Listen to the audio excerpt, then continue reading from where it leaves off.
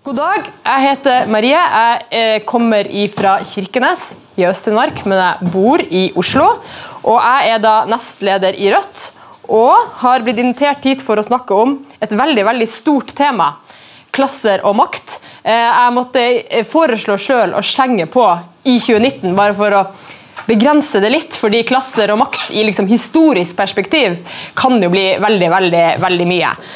Og grunnen til at jeg tenker at viktig å understreke at uh, jeg har lyst til å snakke om ting som skjer her og nå, er jo fordi uh, jeg som nestleder i Rødt, og jeg vil tro folk som er engasjert i politikk, har jo lyst til å prøve å forandre verden her og nå, og det er mange gode grunner til at nettopp å snakke om klasse og makt er en av dem bakgrunnene vi trenger for å gjøre det på en god måte. Eh, for å lande på de riktige standpunktene, men ikke minst også for å ha en god strategi for å klare å eh, vinne gjennom. Eh, jeg har fått lov til å snakke en stund, og det har jeg tenkt å gjøre. Og så skal vi diskutere. Jeg er litt hes i stemmen, for i dag fikk vi en ny regjering. og Da måtte vi så klart troppe opp på Slottsplassen og rope veldig veldig mange slagord mot denne nye regjeringa. Eh, men jeg tror og håper at eh, stemmen skal holde. Jeg har ikke snakka på hele togturen, så da tenker jeg at den har liksom fått hvilt litt. Eh, jeg tenker Først er det viktig å komme med en slags disclaimer, som det heter på engelsk. Altså at jeg er ingen forsker, er ingen klasseforsker i det hele tatt. Det er det finnes folk i Norge og for så vidt i verden som er det, og som er eksperter på det. Og For akademikere og i akademia så har man eh, et selvstendig ønske om å forstå verden for å forstå verden. Eh, og Det er viktig i seg sjøl. Og spesielt eh, i sosiologifaget så er det jo mange som studerer klasse og klassestruktur. Det er et veldig flott miljø på Universitetet i Oslo som studerer klasse. Jeg er ikke sosiolog og jeg er ikke forsker. Jeg er på en måte en del av en politisk bevegelse. og da er målet med å forstå er ikke fordi det er interessant eller for å både klø seg i skjegget over um, finurlige konklusjoner, men det er for å forstå for å prøve å forandre. Og Det gjør at eh, klasseanalyse, eller klassediskusjon, klasseanalyse for meg, det handler om å finne ut hva er det som er relevant og nyttig og viktig hvis vi skal prøve å forandre verden. Og så er det eh, mange andre perspektiver på klasse f.eks. i sosiologifaget, og for alt jeg vet så er det mange her som kan veldig mer om det enn meg. Eh, jeg er utdanna samfunnsøkonom, som gjør at jeg har et ganske sånn økonomisk syn på verden, eh, men også i syn på klasse. Da. Og Det er kanskje noe vi kan diskutere etterpå, for det, finnes, det sånn eh, absolutt fasit på hvordan, hvordan verden ser ut, og den har jeg. Jeg tenkte jeg skulle prøve å forklare hvordan jeg Eh, med mitt utgangspunkt eh, tenker at klasse og klasseanalyse er et eh, nyttig politisk verktøy nettopp for å prøve å forandre verden. Det store spørsmålet, som ble stilt faktisk meg i fjor da jeg deltok i en debatt, er Norge et klassesamfunn? Jeg ble invitert til denne debatten av en tankesmie som heter Agenda, som er en slags venstre-sentrum-tankesmie. Eh, jeg synes det var et ganske fascinerende spørsmål av et tankesmie som på en måte eh, kaller seg til venstre egentlig i norsk politikk, og lurer på om eh, Norge er et klassesamfunn. Men det er egentlig ikke så veldig uvanlig. Jeg har nå kunne jeg sikkert klippet ut masse ting, men jeg har lest det flere plasser, som f.eks. et intervju med LO-lederen vår, Hans Christian Gabrielsen, som ble intervjua også av Klassekampen om, om klasse, eh, der han omtalte Sverige som et klassesamfunn. Og Så spurte Klassekampen oh ja, men mener du Norge er et klassesamfunn. Nei, kanskje ikke like mye. Og hele ideen eller uh, forståelsen av at Norge er et veldig veldig likt land, et land som er nesten et sånt uh, paradis midt i en kaotisk verden der alle har det like bra, den står ganske sterkt, og det gjør at store deler måte, av det politiske Norge vil ikke være enig i at Norge er et klassesamfunn. Heldigvis, på denne debatten som jeg deltok i, så ble vi enige. Eh, det var da eh, meg fra Rødt, Audun Lysbakken fra SV og Raymond Johansen som er byrådsleder for Arbeiderpartiet. Og Fri fagbevegelse slo stort opp at venstresida var enig om at arbeiderklassen finnes. Og jeg synes det også er en ganske flott eh, overskrift, for det er litt sånn hva hadde, altså, eh, ja, hva hadde du trengt venstresida til hvis ikke man klarte å være enig i det? Men det at man i det hele tatt føler at det er nyhet, at det er noe som kan, liksom, en clickbait-nyhet på internett, at venstresida blir enige om det her sjokkerende faktumet, eh, er jo en sånn god begrunnelse for at vi i det hele tatt skal snakke om klasse i dag. Fordi det er ingen selvfølge at man, eh, at man eh, snakker om klasseforskjeller, at man ser på Norge som et klassesamfunn, og ikke minst at man mener at arbeiderklassen er et eh, nyttig begrep og ikke minst en viktig kraft for forandring i samfunnet. Jeg tenker at Det finnes veldig mange måter å forstå samfunnsklasser på, som jeg forklarte i sted. Og For meg så er det mest relevante å forstå økonomiske klasser. Altså eh, prøve å se på hvordan rolle man har i økonomien. Fordi jeg mener at det avgjør hvordan politiske interesser vi har, og ikke minst hvem vi deler de interessene med. Og Den siste på en måte setninga her har jeg prøvd å koke litt sammen eh, kanskje mye av innholdet i alt jeg skal si i dag, og da bruke fet markør på de aller viktigste ordene. Eh, men når jeg mener da hvordan rolle vi har i økonomien, så er det fordi når man produserer i økonomien, og det her er rett ut fra eh, standard eh, økonomifag, ikke sånn eh, radikalt crazy økonomifag, men sånn det man lærer, det alle økonomer lærer, er at all verdi skapes av naturressurser, arbeidskraft og kapital. Og så kan jo vi mene at kapitalen har en gang kommet fra arbeidskraft. At det er størkna svette, som man sier, eller at det er arbeidet som har lagd maskinen, på en måte, og det er arbeidet som har lagd kapitalen. Men sånn som man, det er i hvert fall de tre kategoriene som både finnes i produksjonen. Og naturressursene de si, krever, krever, ikke veldig mye, og vi må så klart ta vare på dem, men de er jo ikke en menneskelig en måte, aktør i økonomien. Og da har du arbeid og kapital igjen.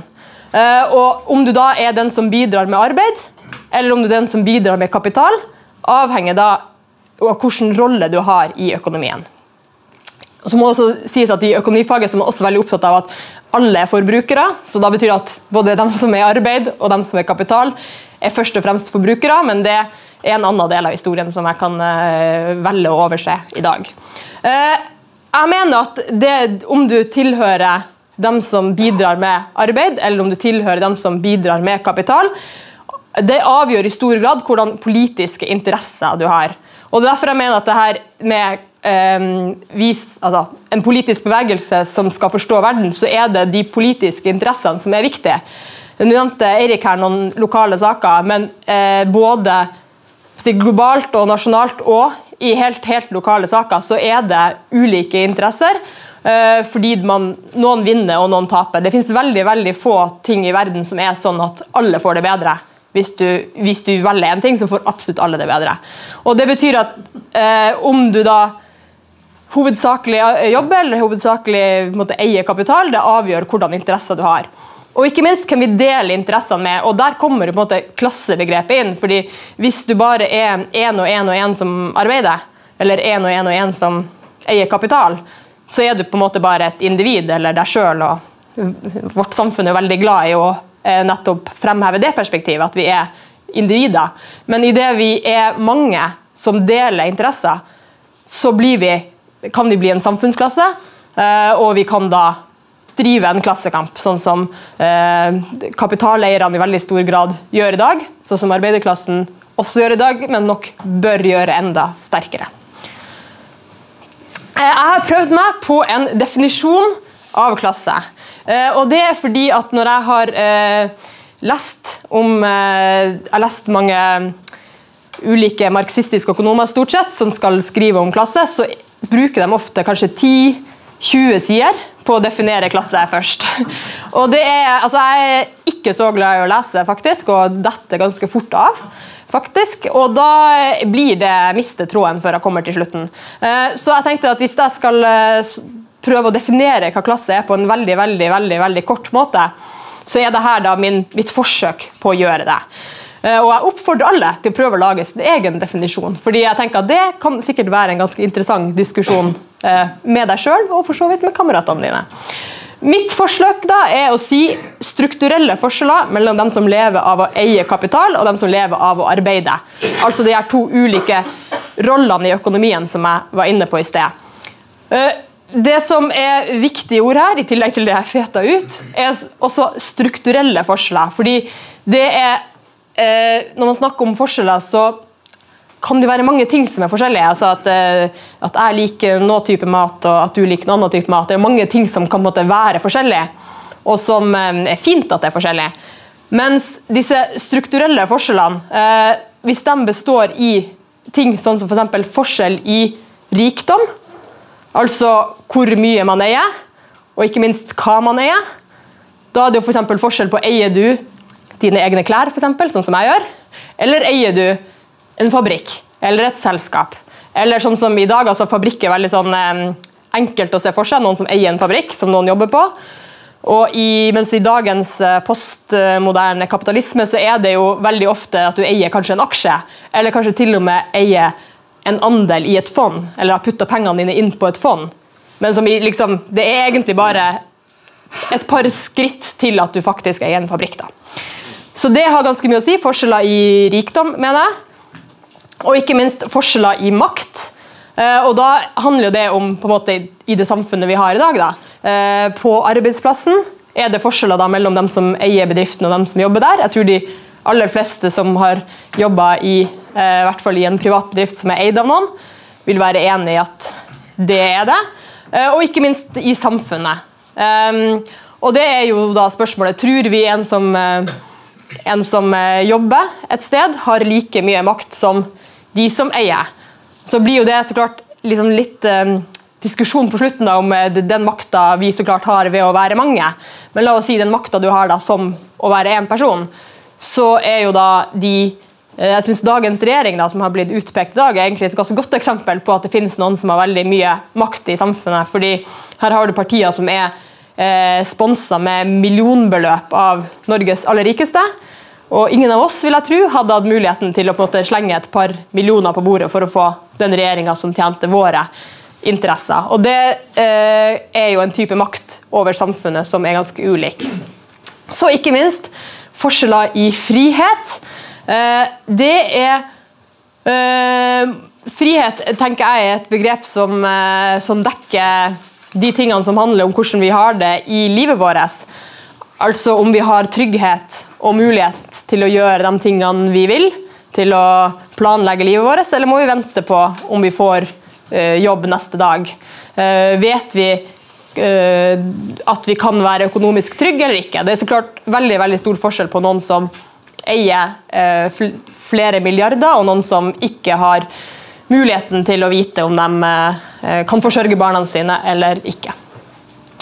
Eh, og da spør, blir jo spørsmålet om vi, Hvis vi skal diskutere oss fram til eller, om klassesamfunnet Norge finnes, da, for det er det som er litt eh, spørsmålet her Om vi finner sånne strukturelle forskjeller i Norge i dag.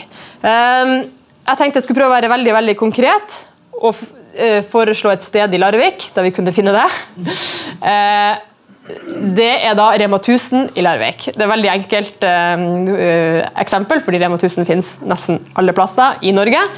Eh, det kunne vært Kiwi eller Joker eller hvilken som helst annen dagligvareforretning. egentlig. Eh, men på Rema 1000 så har du egentlig akkurat det her klassiske skillet mellom arbeid og kapital som jeg om. Det har du også på Rema 1000.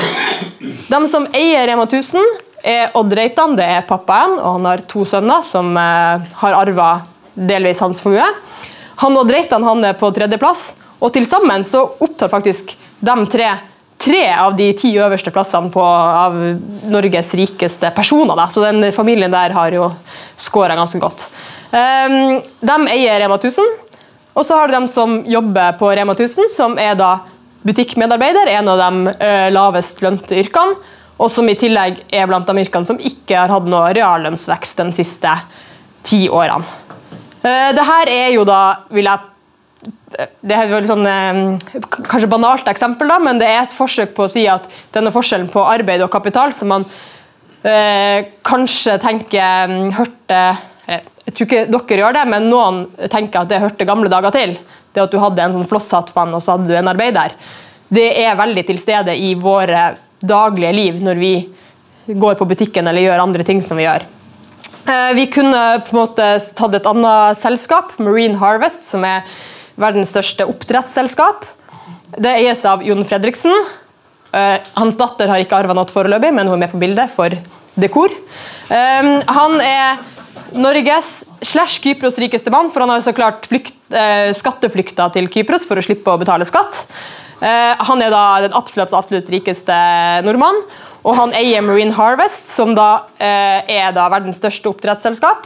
Og her får vi på en måte eh, også inn at det her er jo da kapital som, eh, som, eies av én mann, men der produksjonen skjer i veldig, veldig store deler av, landet, av, av verden.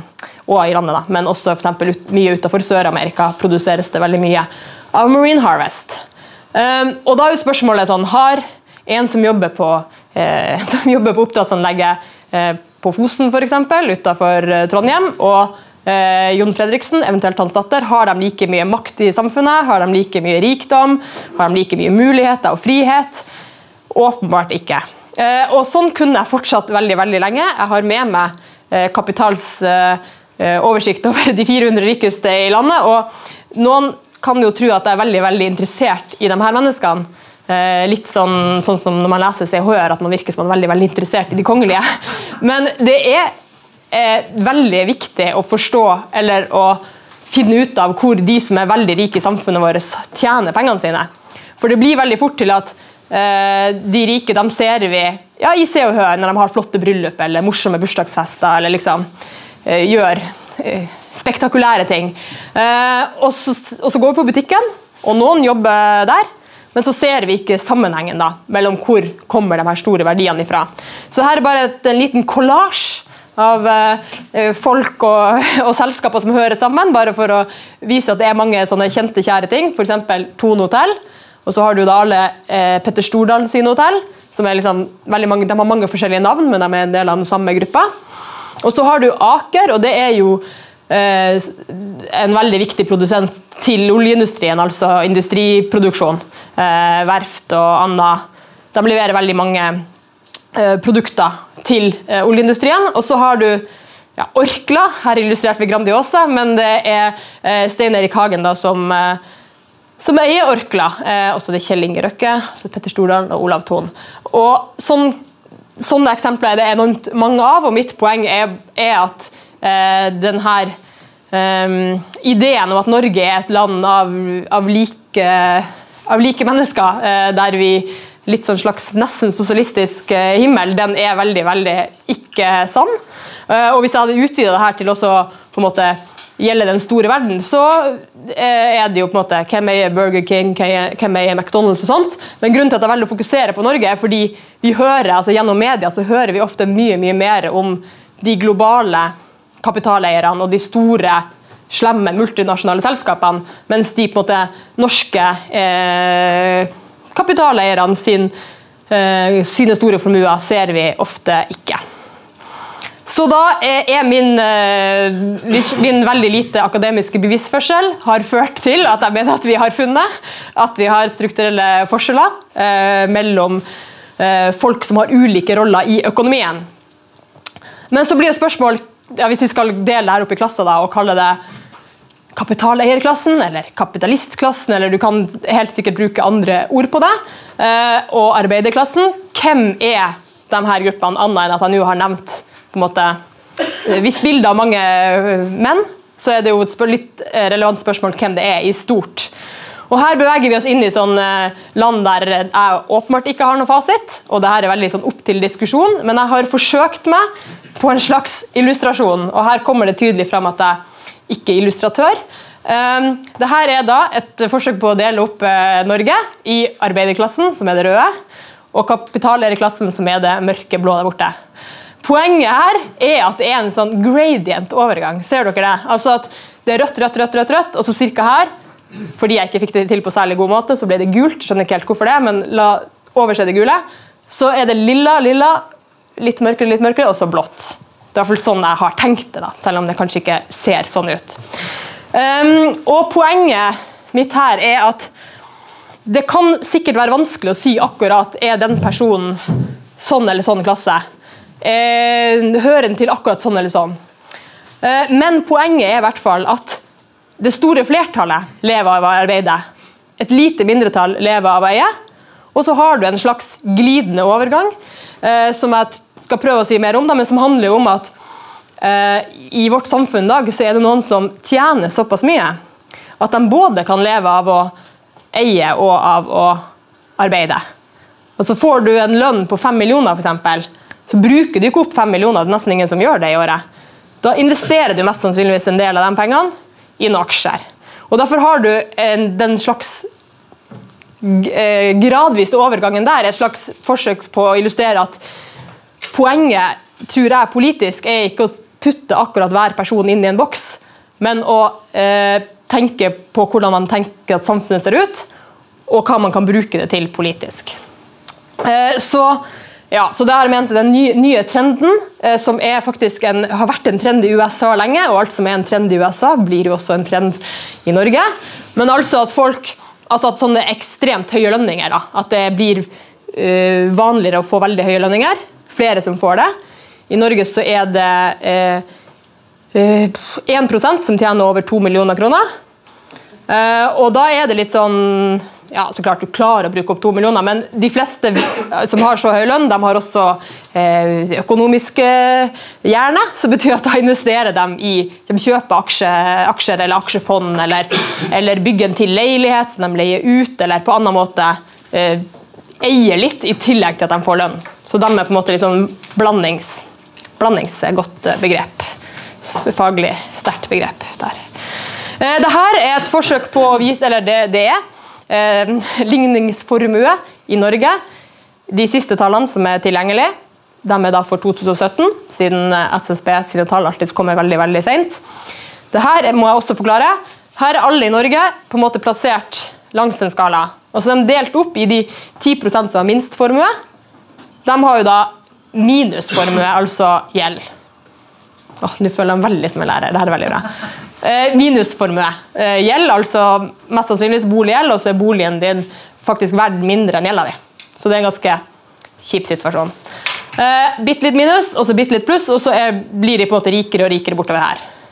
Og som vi ser, så er da det her eh, De 10% rikeste de har da en formue i snitt på litt over 12 millioner.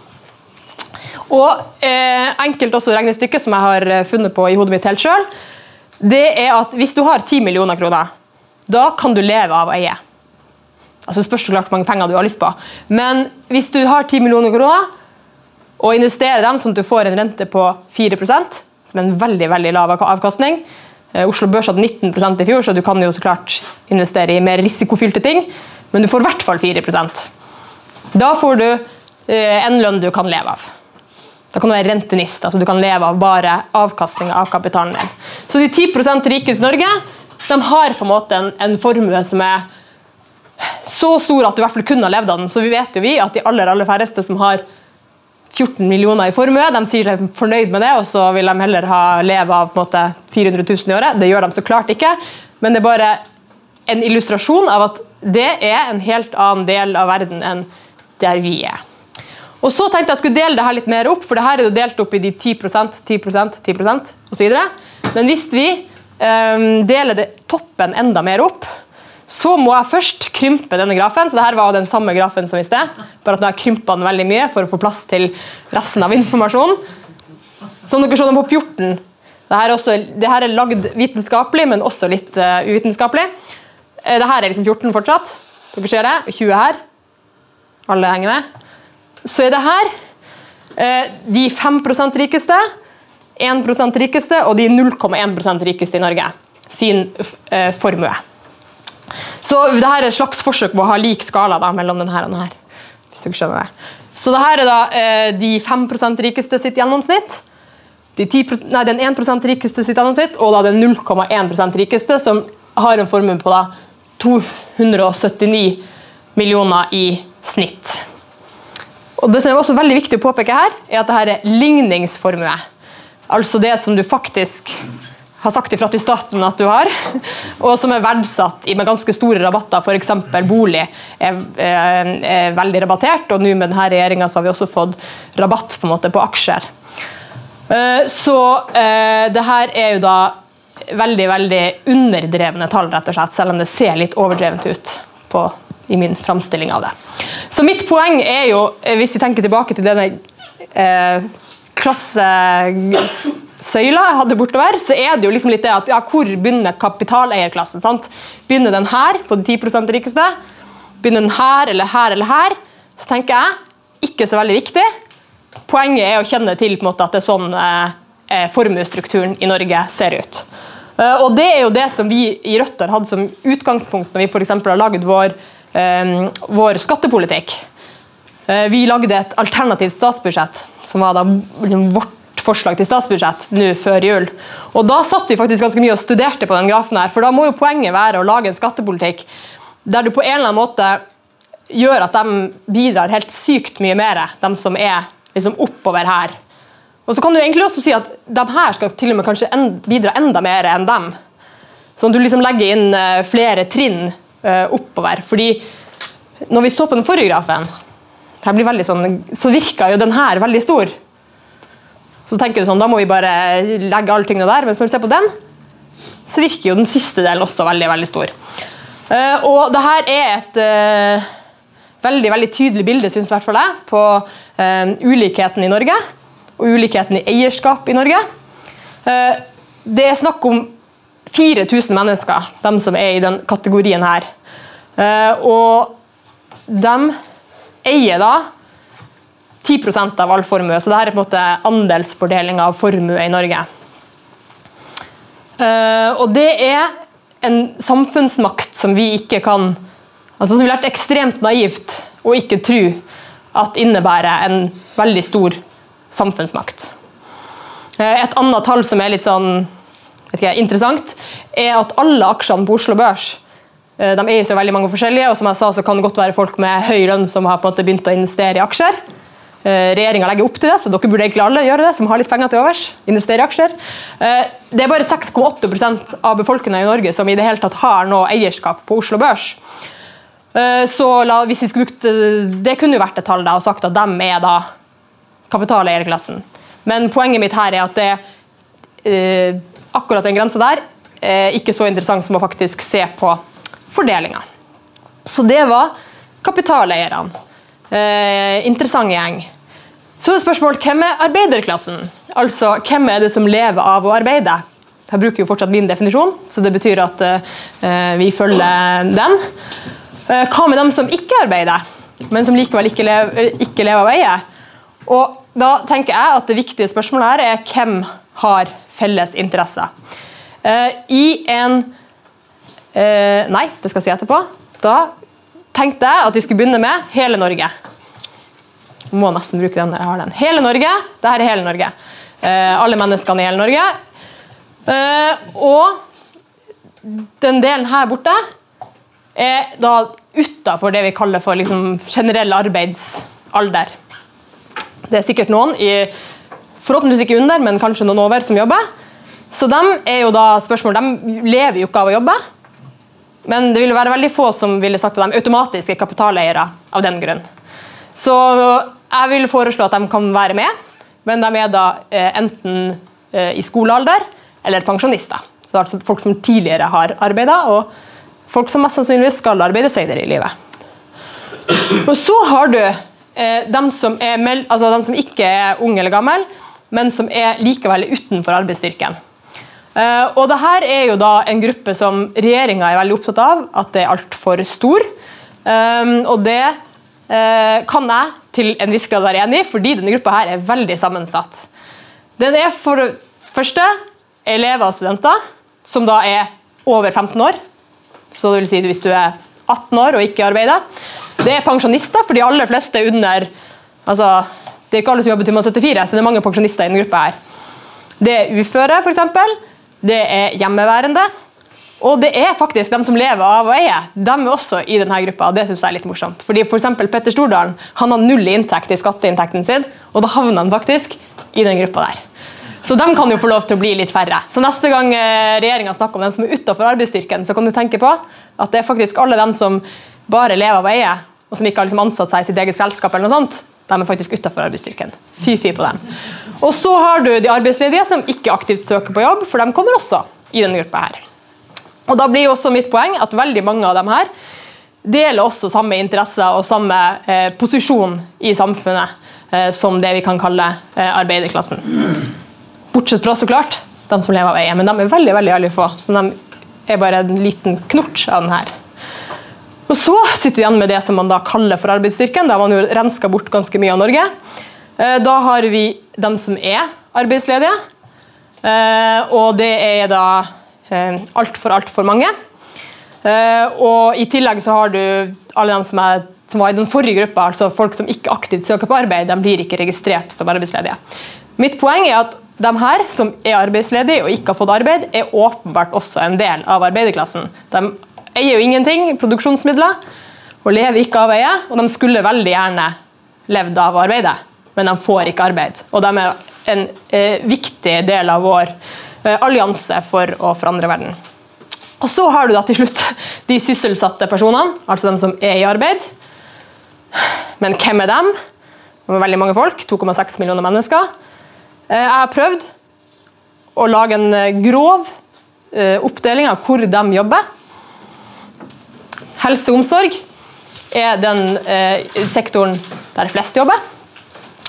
Så kommer varehandel, altså f.eks. Rema 1000. Bygg- og anleggsvirksomhet. Industri, som da er hovedsakelig eksport, altså varer du skal selge til utlandet, det man ofte definerer som industri. Undervisning, altså skole og barnehage. Offentlig administrasjon, hotell, restaurant, jordbruk og olje og gass. Så er det mange mange underkategorier, men dette er på de største eh, kategoriene. Eh, og Grunnen til at jeg viser det, er jo fordi eh, av og til når man snakker om arbeiderklassen, så ser man for seg en mann med hjelm.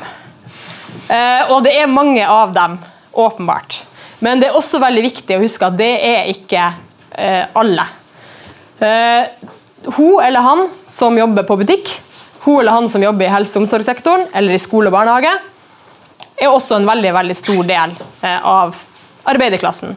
Og det har mye å si for hvis man skal eh, hvis man skal være et politisk bevegelse som ønsker at eh, folk som jobber skal ha mer makt i samfunnet, at man da vet at man snakker ikke bare til barske, staute menn med hjelm. Man snakker også til hjelpepleiere eller barnehagelærere eller folk som, som jobber på hotell. Så det er på en måte jeg synes det er en tankevekkende oversikt for å forstå hvordan sammensetning av mennesker som er eh, arbeiderklassen. Og så har jeg snakka om det her før, og så har jeg blitt på en måte ikke arrestert, men utfordra på om eh, om offentlig sektor kan være liksom med, altså er offentlig sektor med i arbeiderklassen.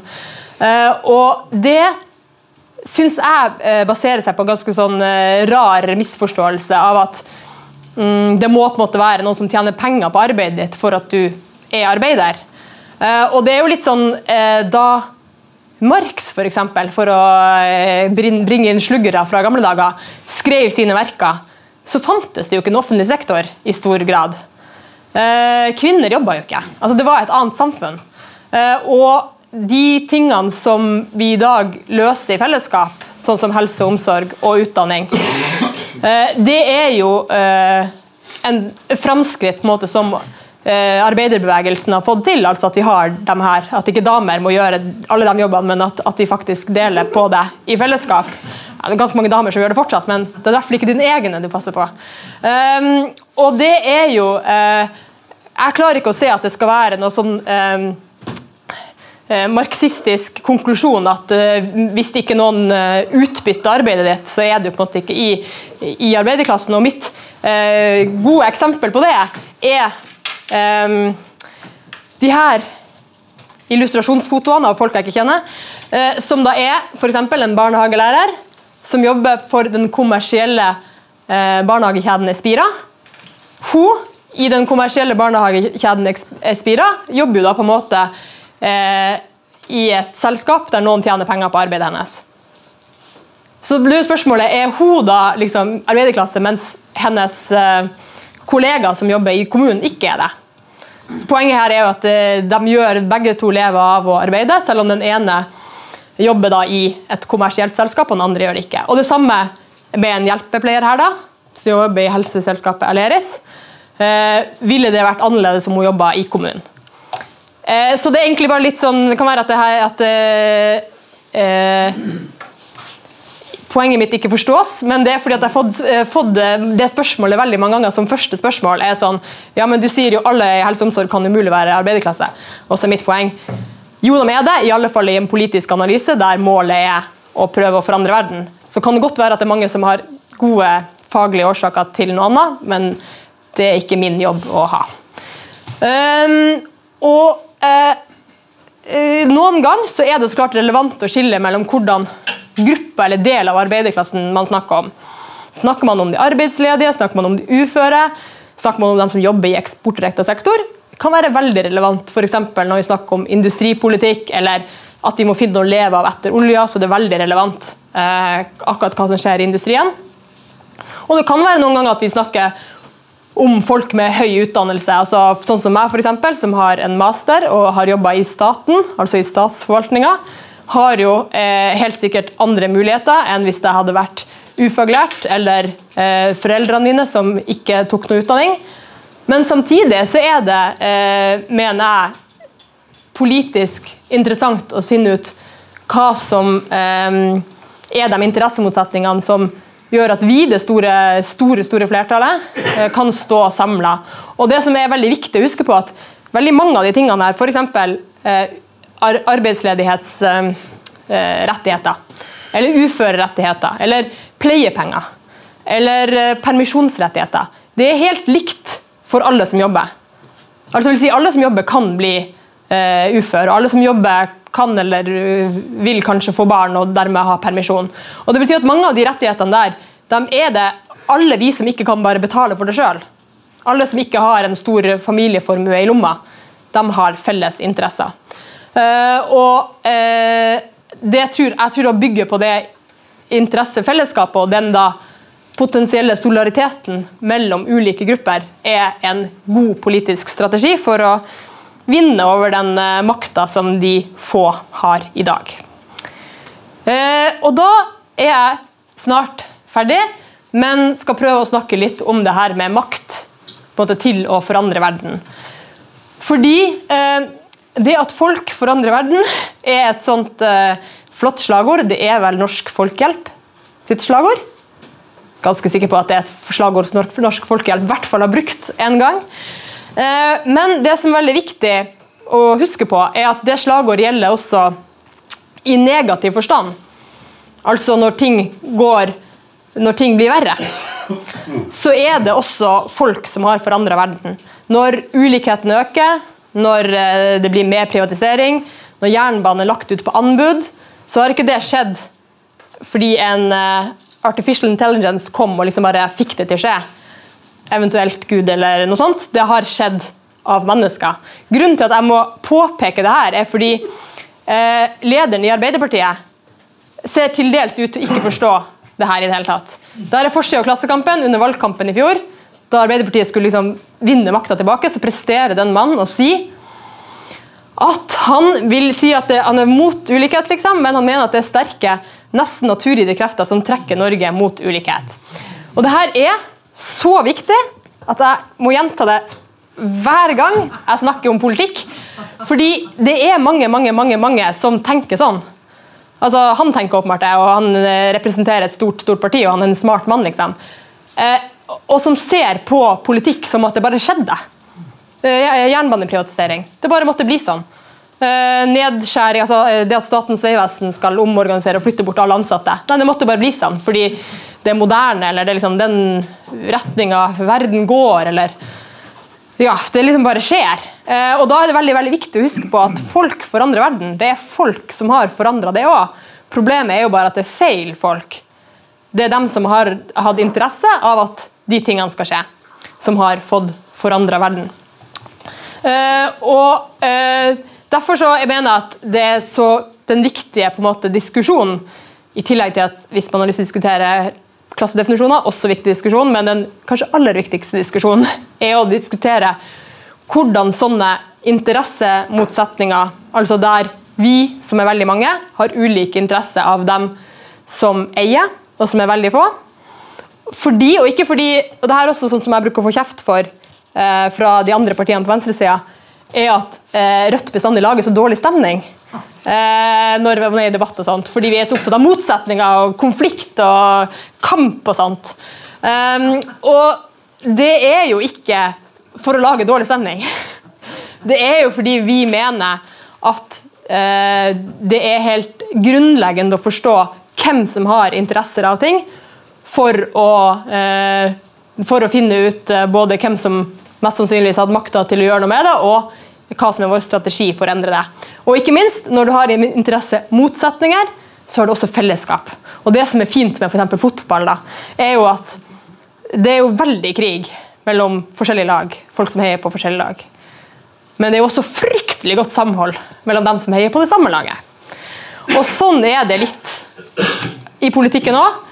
Eh, forbeholdt at jeg vet ingenting om fotball, så for forestiller jeg meg at det er akkurat sånn det er i politikken òg, at de motsetningene gir oss veldig sterke fellesskap. Og det, det som eh, jeg tror er en Eller jeg mener er en viktig strategi for Rødt som parti, er å finne de eh, interessefellesskapene Eh, som inkluderer alle de gruppene som jeg var borti, som på en måte er de som er utenfor arbeidslivet av ulike årsaker, både de som er yngre og de som er eldre, og de som jobber i offentlig og i privat sektor, og kvinner og menn, og de som er, et, eh, er det, kronisk norsk, og de som ikke er kronisk norsk, som er blitt det nye Frp-begrepet. Altså, poenget er å, å, finne ting som samler oss.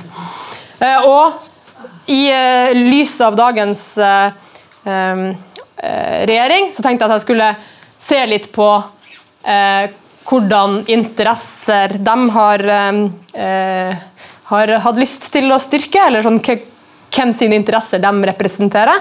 Dette er da bildet fra dagens eh, regjeringspresentasjon. Det er da den største regjeringa noensinne. Og Det er jo ganske ironisk med en regjering som skal kutte og kutte og kutte. Og kutte. Og de har jo en sånn reform som de kaller det, som heter avbyråkratiserings- og effektiviseringsreformen.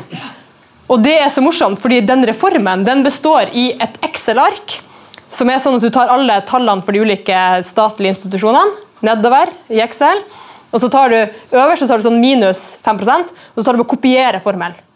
Og så er lik. Og da har du fått reformen deres. da, For den går bare ut på å kutte eh, 5 Excel-basert vits der.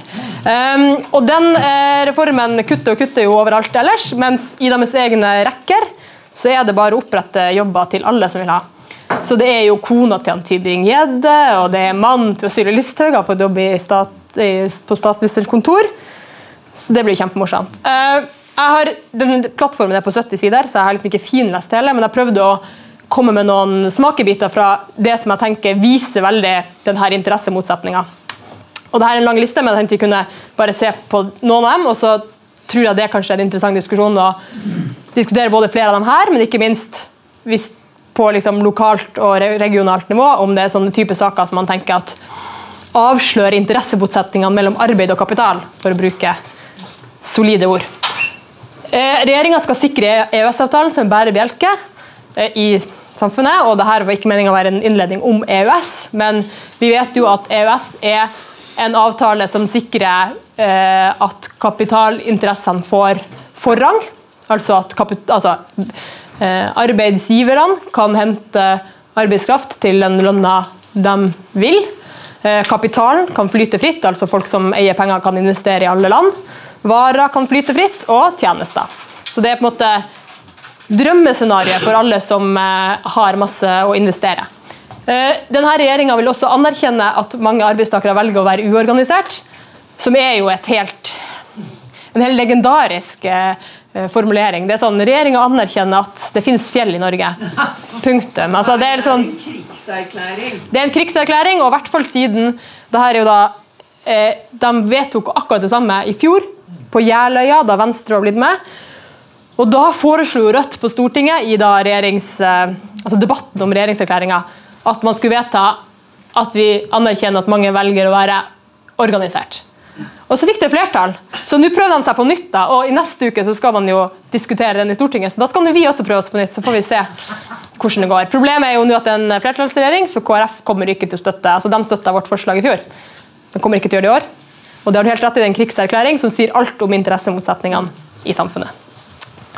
De har øh, fortsatt kutt i formuesskatten, og det blir jo litt sånn øh, verdens enkleste spørsmål hvem tjener på det? Åpenbart de som har formue, og vi så jo grafen i sted at det ikke er folk flest. De skal fastholde fjerninga av arveavgifta. Eh, og det er også litt sånn morsomt, fordi den har jo vært fjerna i uh, syv år, kanskje.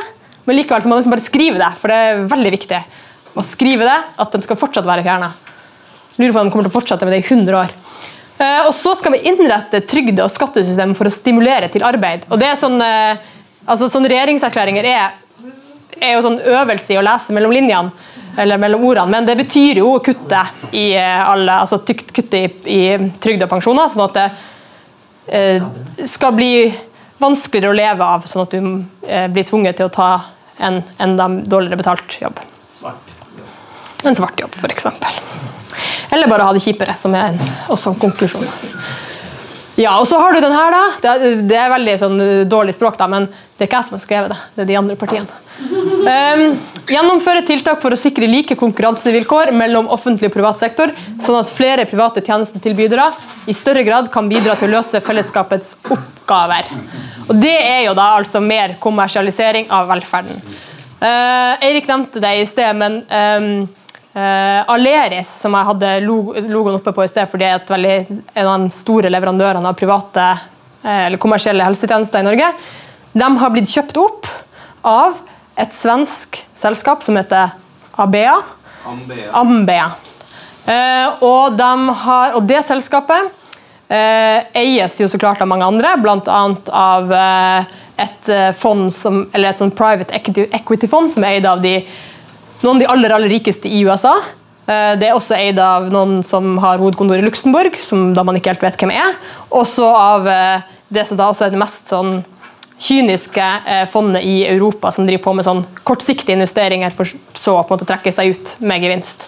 Og det er da eh, de eierne som nå har fått kontroll på 25% av det private helsemarkedet i Norge. Og da, liksom, da, kommer vi litt sånn ut av Norge òg, føler jeg. For da kan vi være sånn, Jeg har brukt Norge som eksempel veldig med vilje for at vi skal på en måte se på Norge som klassesamfunn. Men eh, denne kapitaleierklassen de kjenner jo ingen grenser. De har eh, klassekamerater over hele verden.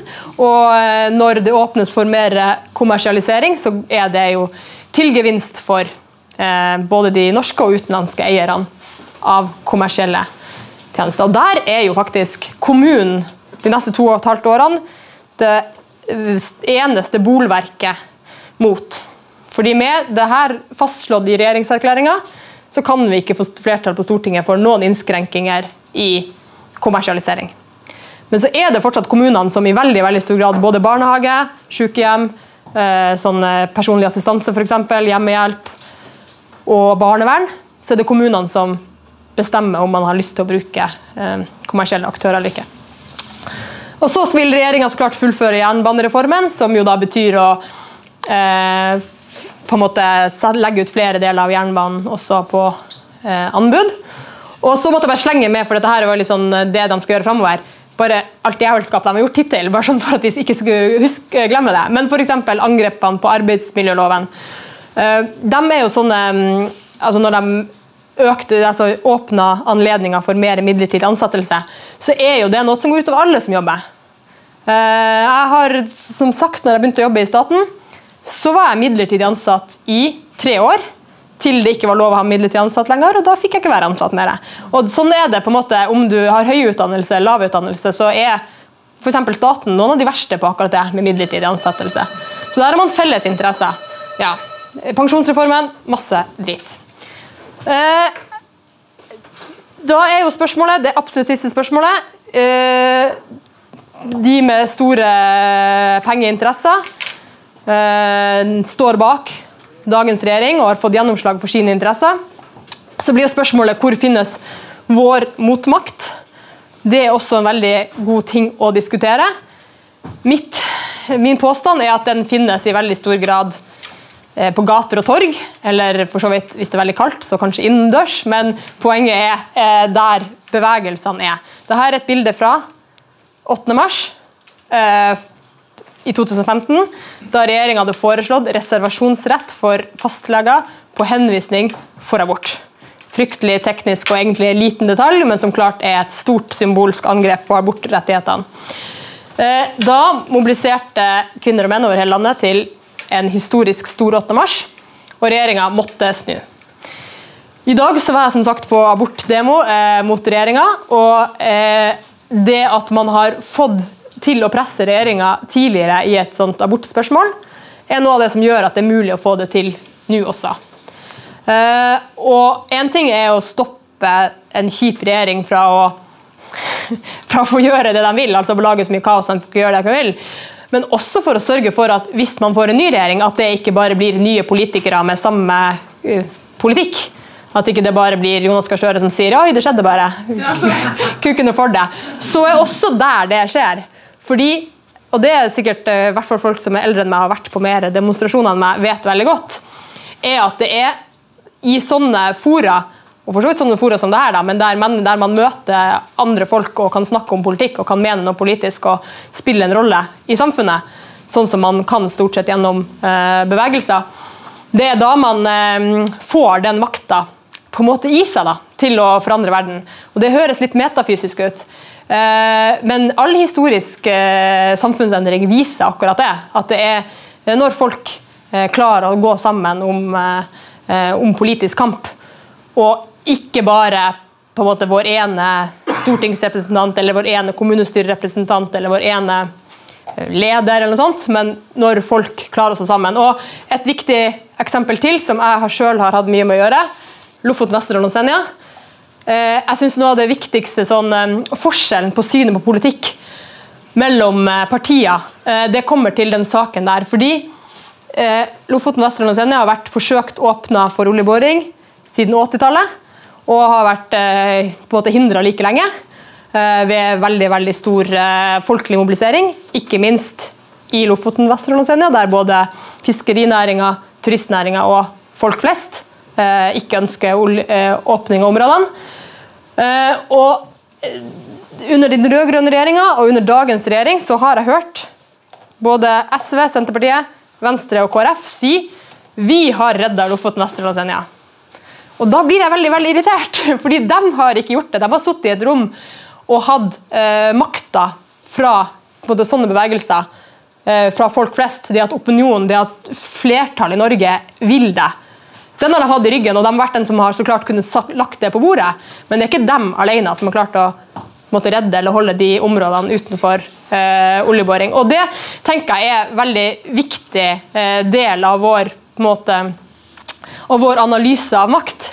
er at det er de folkelige bevegelsene som har muligheten til å faktisk eh, forandre verden til det bedre, og at det derfor er der man må legge inn kreftene. Og eh, Det er jo også derfor eh, Rødt ønsker å være et parti som er eh, like mye en bevegelse som et parlamentarisk parti.